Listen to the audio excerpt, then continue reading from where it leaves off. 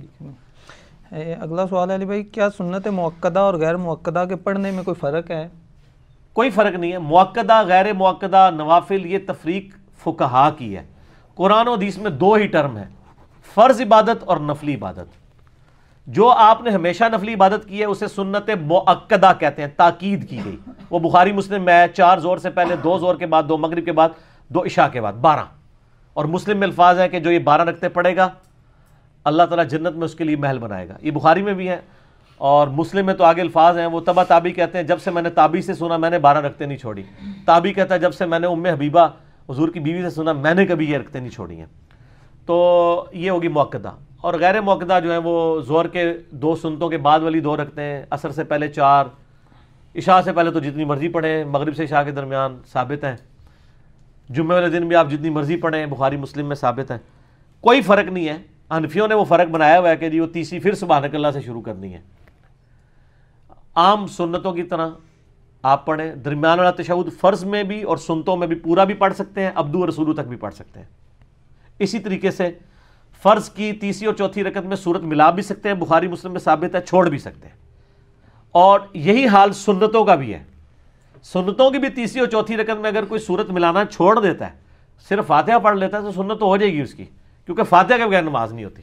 لیکن بہتر یہ ہے کہ وہ سنت موقع ہوں غیر موقع ہوں اسی طریقے سے پڑھے کہ ہر رکت کی میں سورہ فاتحہ کے بعد صورت بھی ملائے اور تشہد ابدو رسول تک تو کم از کم پڑھے اور پورا پڑھ لے تو زیادہ ثواب ہے۔ ٹھیک ہو گیا؟ دونوں طرح سے۔ یہ نہیں ہے کہ ابدو رسول کے بعد روشی پڑھ لے تو سیدہ صاحب واجب ہو جائے گا۔ یہ کہانی سنی نہیں ہے نا آپ نے؟ جی۔ سیدہ صاحب پہ میرا مسئلہ نائنٹی ٹو دیکھیں۔ اچھا اس کہانی میں رنگ کیسے بھرے ہیں انہوں نے؟ لطیفہ، عرض کیا ہے۔ عرض کیا ہے، یہ آپ نے لکھا تھا، ہم تو عرض کر کے نہ اس کی انجینئرنگ کرنے لگے۔ ہیں انہوں نے فقہ حنفی میں یہ مسئلہ لکھا ہوا ہے کہ اگر کوئی اللہ صلی علی، پڑھ لینا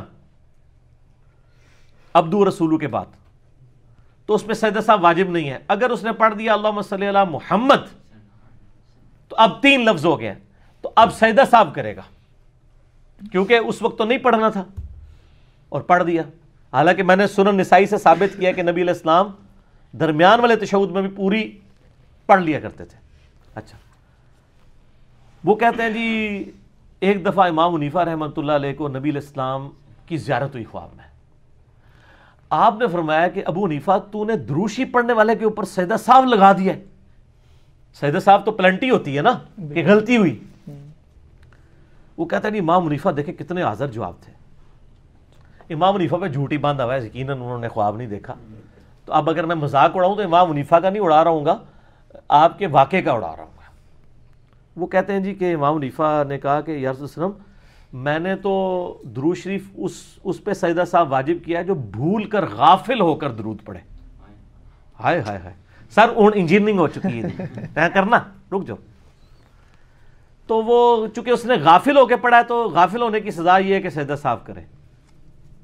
ان سے پوچھے فقہ انفی میں لکھا ہوا ہے کہ ہر وہ کام جس سے سیدہ صاحب واجب ہوتا ہے اگر وہ جان بوجھ کے کیا جائے تو نماز ہی نہیں ہوتی۔ اس کا مطلب ہے کہ کوئی غافل ہو کے دروشی پڑھ لے وہ تو سیدہ صاحب کرے گا اور جو جان بوجھ کے پڑھے۔ اس کی نماز ہی نہیں ہوگی۔ نماز ہی۔ تو نبی الاسلام نے آگے سے نہیں پوچھا کہ ابو نیفا اگر کوئی محبت سے دروشی پڑھ لے تو اس پہ بھی سیدہ صاحب ہے تو پھر نہیں فرماتے اس دی تو نماز ہی نہیں ہوتی پھر پتہ لگتا ہے خواب۔ انجینئرنگ ہو گئی ہے آدھا نا بیان کریو۔ سمجھ آ گئی میری بات کی؟ فقہ انفی کا یہ پیٹ مسئلہ ہے کہ ہر وہ کام جس سے سیدہ صاحب واجب ہو جائے، وہ تو ہوتا ہے بھولنے کے اوپر۔ اگر وہ کام جان بوجھ کے کرے یعنی ایک بندے نے دوسری رکت میں بیٹھنا تھا اور وہ جان بوجھ کے چھوڑ کے کھڑا ہو گیا، تو وہ کہتے ہیں نماز دوبارہ پڑے گا مکرو تحریمی واجب الیاد ہے۔ کیونکہ اس نے وہ غلطی جان بوجھ کے کی ہے، بھول کے نہیں کی۔ صاحب تو کہتے ہی بھول کو ہے سجدہ صاحب بھول کا سجدہ۔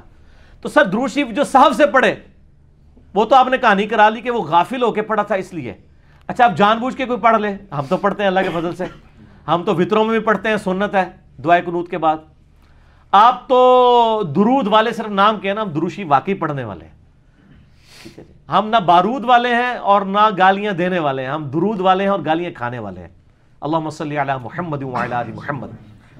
تو یہ انجینئرنگ ہوگی جی اب اس واقعے کی۔ اب اس واقعے کو آگے سے اب کچھ جوڑنا پڑے گا آپ کو، کیونکہ اس واقعے کے آگے اب لکھا ہوگا فٹ نوٹ کے اوپر۔ کہ اگر یہ مسئلہ ہے تو پھر اے مسئلہ بھی حل کرو نا۔